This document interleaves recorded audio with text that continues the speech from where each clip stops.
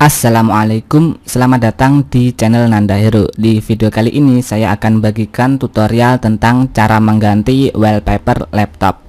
Langsung saja kita ke tutorialnya.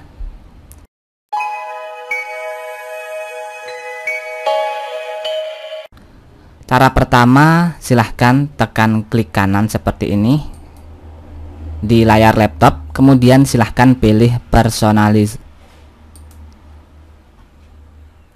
Nah, di bagian sini untuk background atau wallpaper kalian bisa pilih jenisnya solid color atau slideshow. Nah, di sini saya pilih picture. Kemudian di sini kalian bisa memilih wallpaper dari bawaan laptop. Misalnya ini bisa kalian pilih. Nah, ini sudah berganti ya di sini.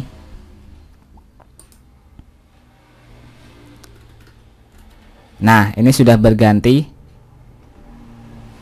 Kemudian jika kalian ingin mengganti wallpaper sesuai keinginan kalian atau mengganti wallpaper laptop dengan foto wallpaper yang kalian miliki, silahkan tekan browser.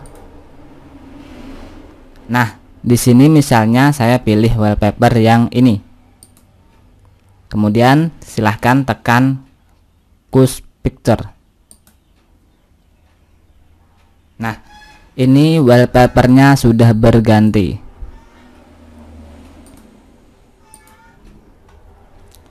Cara lain bisa melalui file explorer kemudian ke foto yang ingin kalian jadikan wallpaper silahkan tekan klik kanan kemudian silahkan pilih set as desktop background. Nah ini sudah berganti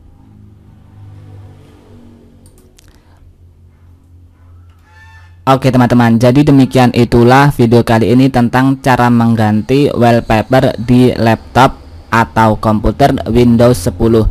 Jika kalian menggunakan Windows versi lainnya, caranya hampir sama silahkan kalian sesuaikan dengan video ini. Sampai jumpa di video lainnya di channel Nanda Hero.